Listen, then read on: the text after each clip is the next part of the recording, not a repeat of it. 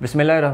अल्लाम Ubaid Bhatti, daily news TV के साथ आपकी खिदमत में हाजिर है। लाहौर के अंदर एक ताज़ा तरीन ख़बर ये सामने आई है कि एक ख़ातून ने एक शख्स का अज़ाए जो मखसूसा होते हैं, उनको काट दिया है और उसके हवाले से मीडिया में और सोशल मीडिया में ख़बर ये सामने आ रही है कि वो शख्स उस खातून को हरासा करता था, जिसके बाद उस खातून ने उसको घर बुलाया और उसके बाद उसको एतबार में लेने के बाद जो है उसके जो नाजुक आज़ाद थे, उनको काट दिया। अब ये ख़बर किस तरह से है? इसकी तफसीत किस तरह से मेरे पास एफ़ आई आर मौजूद है? उसके अलावा इन दोनों, जो मीडिया को तस्वीरें जारी की गई हैं, वो भी आप स्क्रीन पे देख सकते हैं कि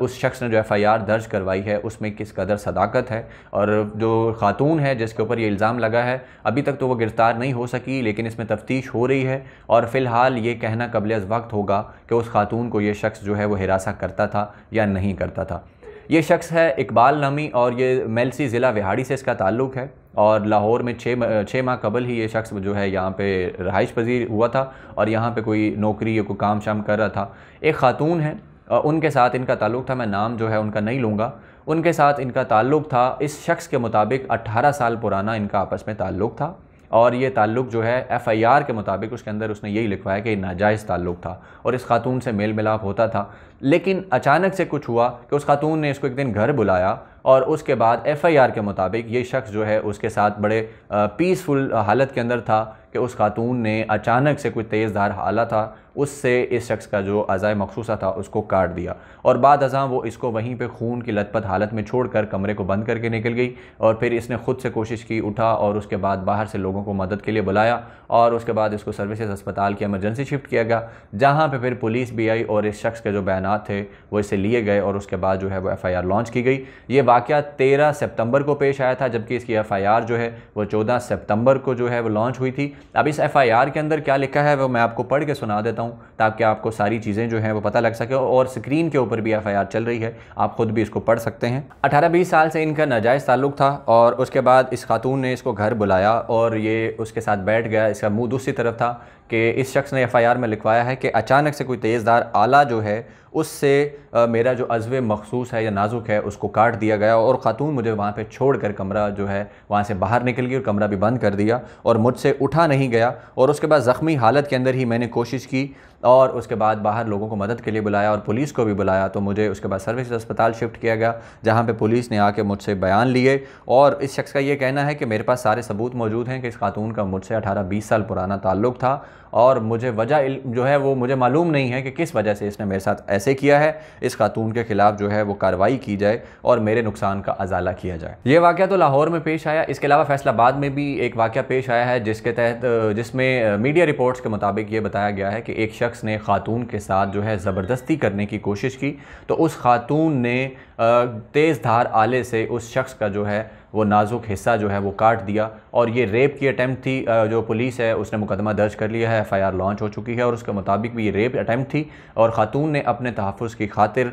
जो है वो तेज़ धार आले से उस शख्स जो है उसका मुकाबला किया और उसका ये हिस्सा काट दिया और आपको पता ही है आजकल हर तरफ़ से रेप की खबरें आ रही हैं, कहीं पर छोटी बच्ची जो है उसका रेप किया जा रहा है, उसको कत्ल किया जा रहा है, इसके अलावा बच्चे जो हैं उनका रेप किया जा रहा है और ये मोटरवे का सानहा तो पूरी दुनिया के अंदर जो है वो अटेंशन हासिल की है, पाकिस्तान के अंदर तो बहुत ज़्यादा इसकी वजह से आउटरीच बना, लोगों ने एहतजाज किया प्रोटेस्ट किया तो अब पाकिस्तान के अंदर ये सिचुएशन बहुत ज़्यादा दिन ब दिन मज़ीद ख़राब हो रही है और एक और रिपोर्ट जो सामने आई है, सरकारी रिपोर्ट है, जिसके मुताबिक साढ़े सात हज़ार से जायद रेप के वाक़ात जो हैं, वो इस साल पेश आ चुके हैं और आगे अभी साल के कुछ महीने बाकी हैं तो आप अंदाज़ा कर सकते हैं कि पाकिस्तान के अंदर इस वक्त क्या सूरत हाल है कि जिनसी हैदान इस कदर बढ़ चुका है कि लोग किसी भी किस्म की जो है परवाह नहीं करते, किसी चीज़ का ख्याल नहीं करते, लोगों की माएँ बहनें हैं, इज़्ज़तें हैं छोटी छोटी बचियाँ हैं और अपनी हवस जो है उसको पूरा करने की खातिर किस कदर जो है जुल्म कर रहे हैं, लोगों की ज़िंदियाँ तबाह कर रहे हैं। और बच्चियों के साथ जुल्म किया जा रहा है, बच्चों के साथ जुल्म किया जा रहा है। अभी कुछ दिन पहले कसूर के अंदर जो है,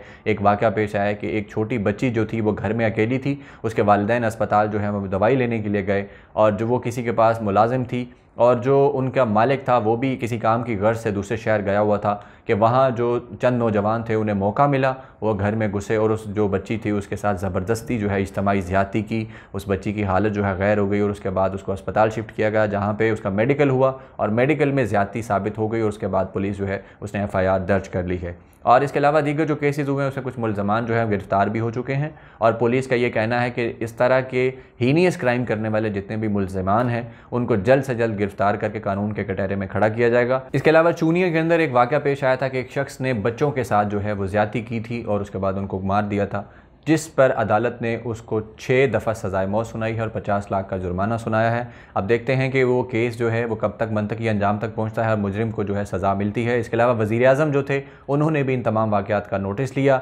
वफाकी वज़ी फैसल वावडा जो है, उन्होंने वज़ी अजम को तजवीज़ पेश की कि ऐसे लोगों को केमिकली जो है, वो कास्ट्रेट कर दिया जाए, यानी नामर्द बना दिया जाए और इसके अलावा सरेआम फांसी जो है, उसका कानून जो है, वो भी पेश किया जाए। तो उस पर वज़ी अजम ने इजाज़त दे दी है कि कानून जो है, तैयार किया जाए और उसके बाद उसको पार्लियामेंट में मंजूरी के लिए पेश किया जाए। वज़ी अजम जो थे, वो कुछ दिन कबल लाहौर आए थे, लेकिन मुतासर खातून से मुलाकात ना कर सके। उसकी शायद ये वजह हो सकती है कि मीडिया से पहली दफ़ा ऐसा हुआ है पाकिस्तान में कि जो मुतासर खातून थी, उसको मीडिया से दूर रखा गया, वरना मीडिया जिस तरह मुतासर लोगों के घरों में पहुँच जाता था और उनकी मालूम दुनिया तक पहुँचाता था कि एक तो उनके साथ हादसा पेश आया और उसके बाद उनकी इज़्ज़त, उनकी जो शक्ल, हर चीज़ जो है वो मीडिया के सामने आने के बाद दुनिया पूरी को पता लगती थी तो वो मुतासरा फ़रीक के लिए बहुत ज़्यादा तकलीफ़ का बायस होती थी। अब देखते हैं कि ये इस कानून का क्या बनता है, कब तक ये कानून पेश होता है और कब पास होता है और ऐसे मुलजमान जो हैं, इनके साथ किस तरह से हकूमत और उसके अलावा कानून पेश आता है, हम भी आपकी तरह मुंतज़र हैं कि आने वाले वक्त जो है वो इस चीज़ का, आने वाला वक्त जो है वो डिसाइड करेगा।